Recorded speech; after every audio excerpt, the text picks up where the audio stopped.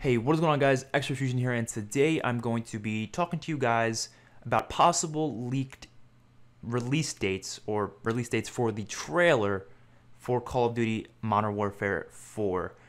So this is coming, it's not confirmed information, this is coming from information from YouTubers all over, it's been all over Twitter and Reddit, you've probably seen them by now.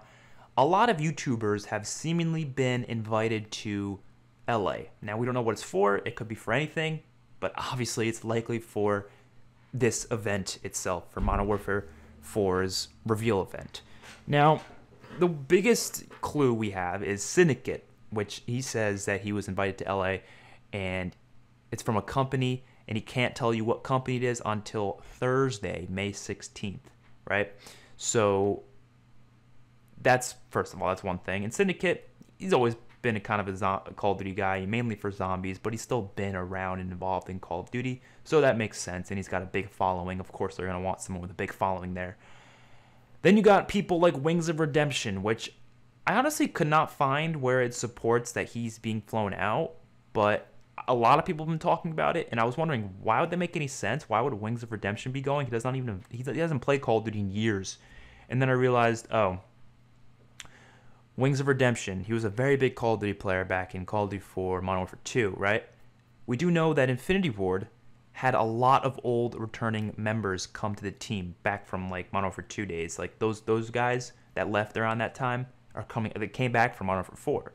So that it makes sense that they're probably still friendly with Wings of Redemption. They probably wanted him there, of course, so they invited him. So that makes sense. Then you got people like Exclusive Ace, who he, I, we didn't 100% hear that he was going to LA, but there has been people on Reddit talking about how they were, t- you know, asking questions on um, streams and stuff, and he said stuff like he can't talk about it now or something. Um, and then you have, of course, Elite Shot here, who literally replied to a tweet from somebody saying, um, "So are you being flown out to the event too?" And he, he replied with some sarcastic comment.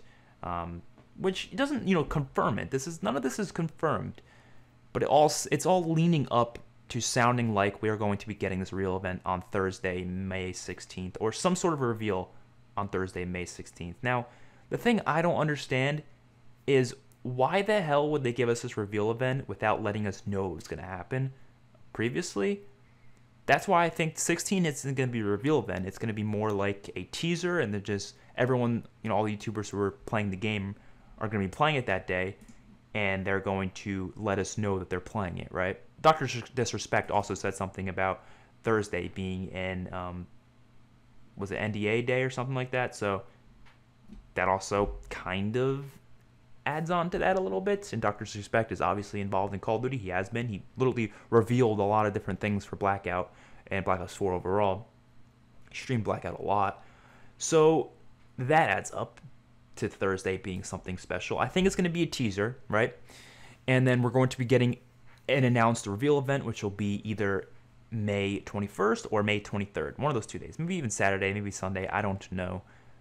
Maybe Friday, even? I don't know. But tomorrow, or not tomorrow, two days from now, Thursday, seems like the most likely day for our first teaser or confirmation